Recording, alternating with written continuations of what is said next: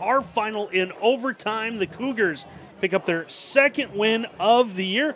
Big reason was the play of quarterback Briston Wise, the game winning touchdown in overtime. He is our Stolly Insurance Hustle Award winner, and he's down on the field with our Miles Holiday. Uh, Briston, unbelievable football game. How are you guys able to come back and win this one?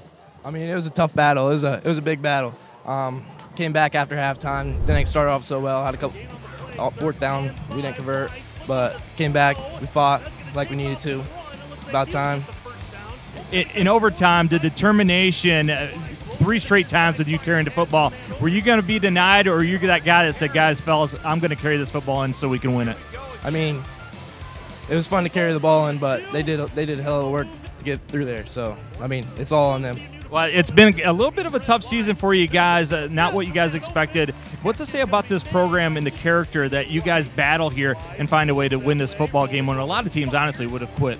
I mean, we come in week in and week out, and it's it's not bad practices. We're putting our time in. We're working pretty hard, and come out here and get a win finally. It, it helps. It helps a lot.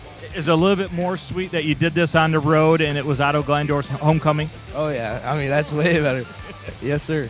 All right, what are you guys going to do the rest of the way from here? Do you finally have some momentum? You can finish the season out really strong. That's the plan. That's the plan. All right, man. Congratulations. A heck of a football game, Randy. He, no doubt about it. He was a dynamic dude. Haley made the play.